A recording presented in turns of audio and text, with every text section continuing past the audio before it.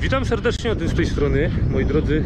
Kolejny dzień, kolejny odcinek e, i znowu tamiza, ale was katuje tą tamizą, a siebie już też, już troszeczkę czuję zmęczenie tą tamizą, ale wystarczy jeden, dwa dni posiedzenia w, w tym na farmie, pooglądania trochę filmów z tamizy i znowu czuję, że, że chcę tutaj wracać. E, znajduję dzisiaj się na Wandsworth.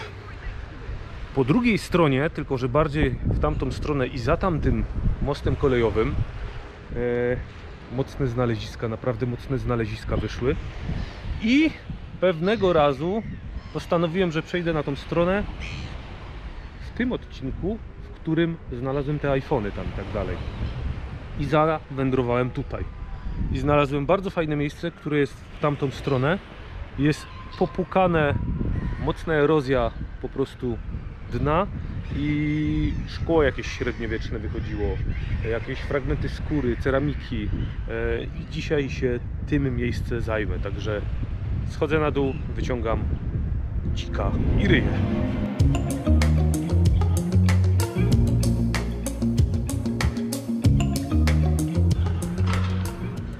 Oszukiwało się na testach sprawnościowych. No tak fajnie. Oszukiwało się. A teraz trzeba jeszcze będzie wrócić po tą kamerę. E?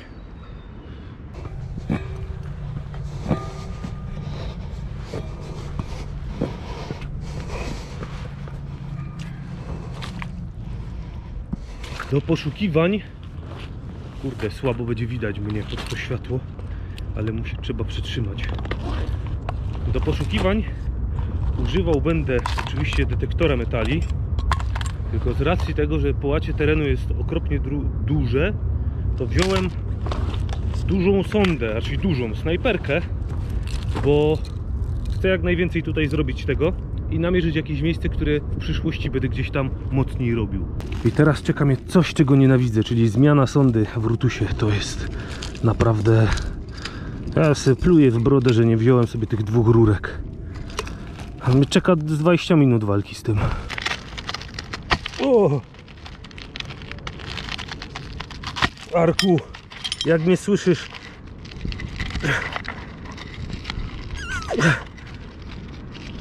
Zrób coś z tym na przyszłość. Jest już duża sonda po dość kosmicznych bojach syzyfowej pracy.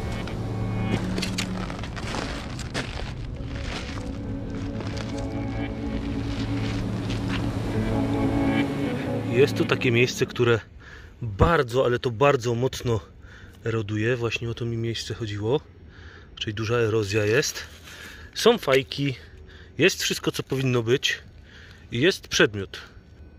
Tu jest, patrzcie, taki mały. Zaraz zobaczymy, co to jest. Wygląda na jakiegoś tokena. I właśnie na coś takiego tutaj, na coś takiego tutaj właśnie liczyłem. Jest coś takiego? Może będą jakieś chamiksy.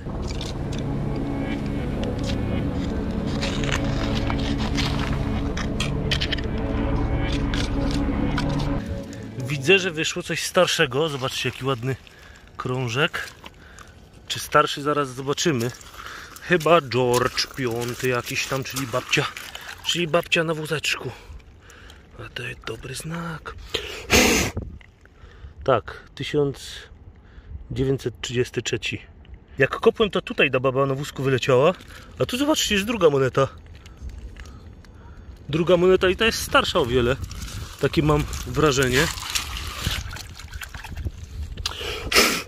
I ta jest chyba nawet ze srebra, ale jest kurde wytarta całkowicie. Raczej to nie jest srebro, ale mogę się mylić. Będziemy sprawdzać.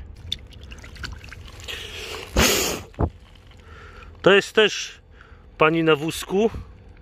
I pani na wózku jest 1913. Jest to są. O, jak tutaj pięknie go widać. Ta prześliczna. Kurde, w jednym miejscu. To musiał być chociaż duży rozrzut, jeżeli chodzi o daty. Już na bank trafiłem kilka monet, więc to będzie skarbik. Kolejna.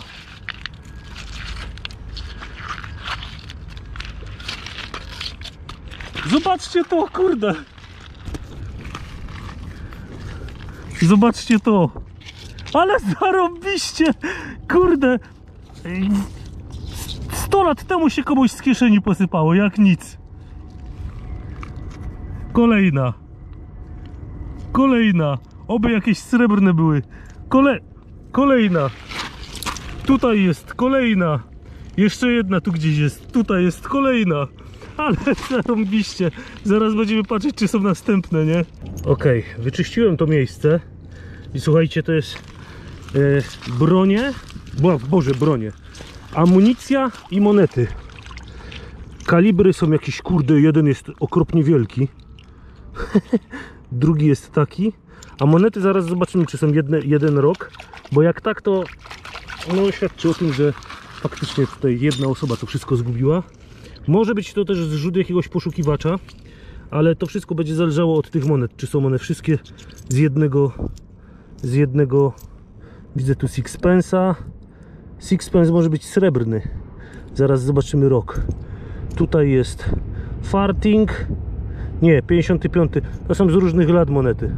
1940 halfpenny, one cent amerykański, sixpence, dwa fartingi, i halfpenny, dwa naboje i takie kółko. To jest jednak zrzut jakiegoś poszukiwacza, tak mi się wydaje.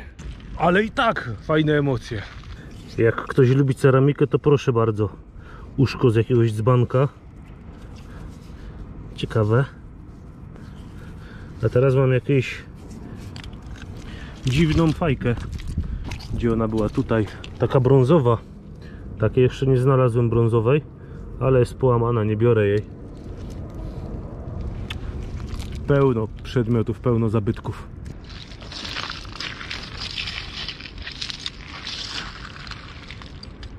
Takie coś chcę wam pokazać, jak wypukuje kości. Jedna za drugą.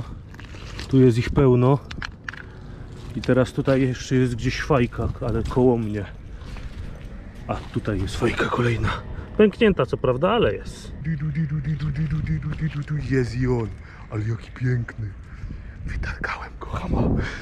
Ale mi się kręci teraz w głowie. Czekajcie, gdzie ja go dałem. Gdzie ja go dałem? Widzicie go, czy go nie widzicie?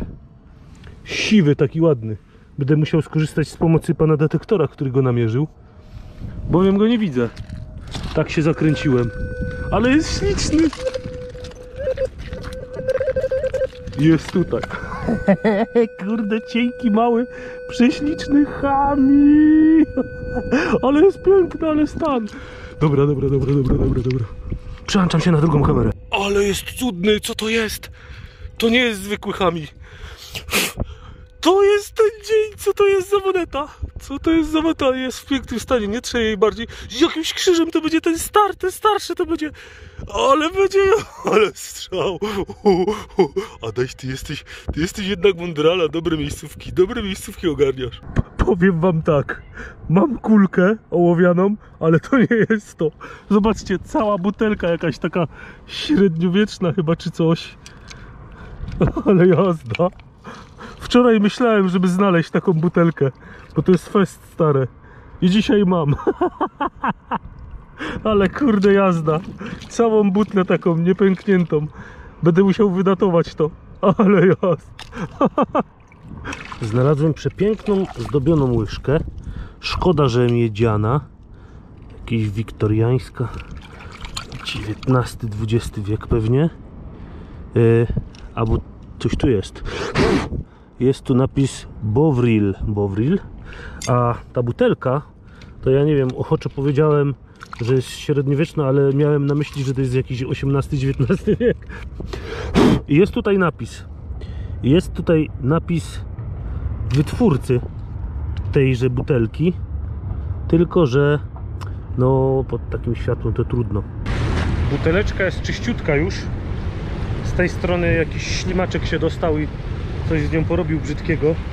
Dalej nic na niej nie widać, chociaż teraz widać. Ekosuner and coś tam. Cognac. Cognac. Będziemy sprawdzać. Piękna butelka. Muszelka nie chce wyjść niestety. Będę miał z muszelką na zawsze. Zanim jeszcze przyjdzie przypływ maksymalny, to tutaj poszukam, chociaż jest Bardzo duże żelaza. Wszystkiego, tych szczęk, po tych baranach, po tych łowieckach, po tym wszystkim. jest masakryczna ilość. Pineski, nie pineski. Ceramika. Oyster, czy jak to się tam nazywa.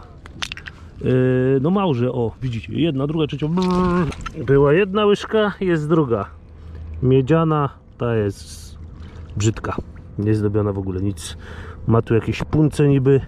Nie, to, no są jakieś punce, ale to może było kiedyś posrebrzane, o. Wezmę jedną rzecz z tamizy dla pewnej osoby. Ona się domyśli. Ona się domyśli dla kogo. Jeszcze jakieś coś znalazłem. Wezmę cegłę z tamizy z napisem. Wezmę ją dla jednego znajomego, z którym kopałem w Lubajnie na skarbie. Pozdro, Boguś. Chciałeś cegłówkę z tamizy. E, wiem jak wyglądają cegłówki rzymskie. E, jeszcze takiej nie znalazłem, ale jak znajdę cegłówkę rzymską, to jedną wezmę dla siebie, a jak znajdę drugą, to drugą wezmę dla ciebie. Ale to wędruje do Polski i jak się zobaczymy, to ci to dam, bo ty lubisz cegły.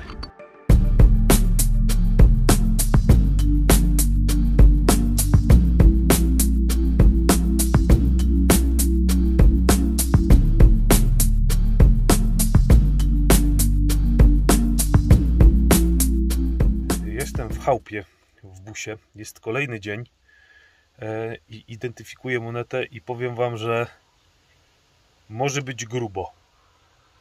Tak wygląda podsumowanie tych rzeczy, które znalazłem. Są tu jakieś monetki typu funty, stateczki. Tutaj mam sixpensa. Nie wiem, czy widzicie, ale jest 1956, także nie jest srebrny. Jest jedna, druga pensa. Dokładnie jedna, druga pensa. Jakieś tam amerykańskie monety, guziki, trochę jakiś głupot. Kulkę jeszcze znalazłem na ulicy. Dwie łyżki. E, piękna butelka, 1930 rok. Z whisky bodajże. Dwa tokeny ołowiane. Czy są średniowieczne? Nie mam pojęcia, natomiast obydwa mają kwiatuszek. Nie wiem, czy widzicie. I tutaj, i tutaj jest kwiatuszek. Mogą być to róże. E, na pewno są ładne, ale no gwóźdź programu, który mnie naprawdę zaskoczył, to jest ta anglosaska moneta. Najpierw musi ją wyoszczyć ładnie, żebyście dostrzegli jej detale, bowiem detale tu będą bardzo istotne. Jest to anglosaska moneta, prawdopodobnie mniej więcej z tych lat, czyli 10 wieków ta moneta ma. Z drugiej strony jest krzyż i teraz patrzcie. Taki sam krzyż ma moneta ta i taki sam praktycznie awers też ta moneta ma. Yy, mi się wydaje, że ja mam very fine, jeżeli chodzi o jeżeli chodzi o kondycję monety. Zobaczcie na tę cenę. Tu jest druga moneta, która jest praktycznie taka sama. Tak samo, zobaczcie, na postać tu i tu. Troszeczkę się różnią, troszeczkę jest ta inna. Krzyż jest praktycznie ten sam. I ta to już w ogóle kosztuje kosmiczne pieniądze. E, Mi się wydaje, że moja jest w bardzo dobrym stanie. Ja się nie znam na wycenach monet, na ich kondycjach, natomiast no, widzę, że tutaj się ta pięknie zachowała. 6000 funtów, 4000 funtów, niech będzie nawet i ten 1000 albo 2000, to jest 10 tysięcy złotych około. 5 tysięcy, 10 tysięcy. Tylko, że te legendy są istotne. I tu jest jeszcze jeden władca z taką monetą. Dokładnie. I to jest najprawdopodobniej ta moneta anglosaska. Przy, przyuważcie. Bardzo podobna. I tutaj tutaj proszę bardzo. I prawdopodobnie to jest ta moneta i jest warta tylko około 250 funtów. E, Ze względu na to ED. ED, ED. A tamte mają tutaj V coś tam i EH chyba. A ja mam ED w związku z tym, że to jest ten władca. I moneta mogła być warta około 25 tysięcy złotych. I tak tą monetę jeszcze gdzieś tam dam do jakiegoś numizmaty i tak dalej, żeby ją na 100% gdzieś tam zidentyfikował. E, fajna jest historia tego króla, ale nie będę wam jej opowiadał, bo to jest nudnawe. E, no i kurka wodna, tyle z mojej strony. Mam nadzieję, że wam się podobało. Jak się podobało, możecie zostawić pierdółki. Dziękuję wam za dotrwanie do końca. No i co? Trzymajcie się. Cześć.